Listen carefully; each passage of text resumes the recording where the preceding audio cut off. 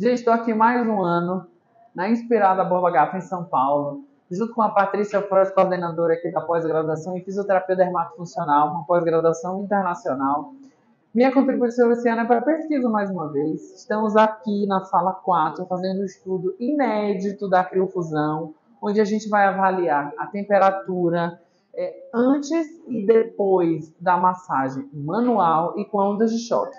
Eu quero mostrar para vocês como que a gente está fazendo isso e como isso está acontecendo. Então, vem comigo que eu vou mostrar o passo a passo da contribuição dos alunos aqui para nosso estudo, para nossa pesquisa.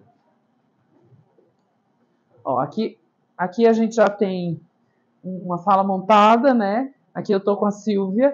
A Silvia, ela é responsável por colher as fotos, Sim, fazer as medidas. Os questionários iniciais, nome, idade, tiro as medidas e encaminho para as fotos com as meninas.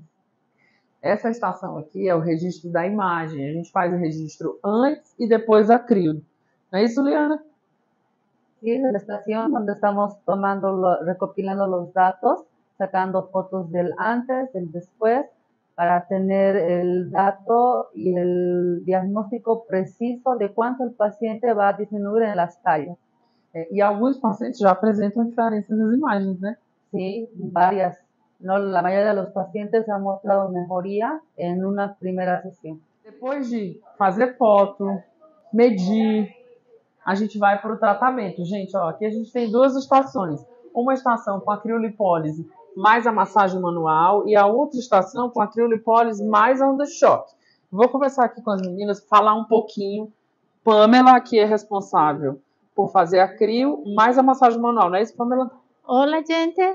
Eu hago massagem manual e criolipólise. Vemos a diferença que há com o outro equipo, que são ondas de choque. E aqui, ó, eu tenho a Alexia, que faz a criolipólise também, seguida da onda de choque. Sí, después de realizar lo que es la criolipólisis, vamos a realizar las ondas de choque con parámetros exactos para poder ver la diferencia de las pesquisas, de, haciendo una pesquisa diferente a lo que es un masaje manual. A etapa da termografia é onde a gente vai medir a temperatura da região logo após a crio e logo após ou a ondas de choque ou a massagem. A Jenny está aqui ó, já fazendo uma medida Conta pra gente aqui, Jenny. O que, que você está fazendo? Como que é feito?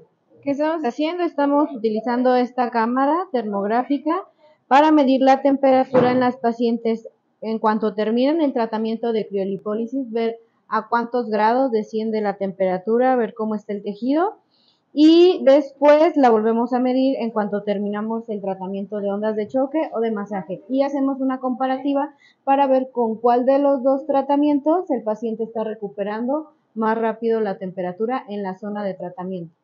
Bom, vocês puderam ver um resumo do que a gente está fazendo aqui para que a gente possa chegar naquele artigo e nos resultados.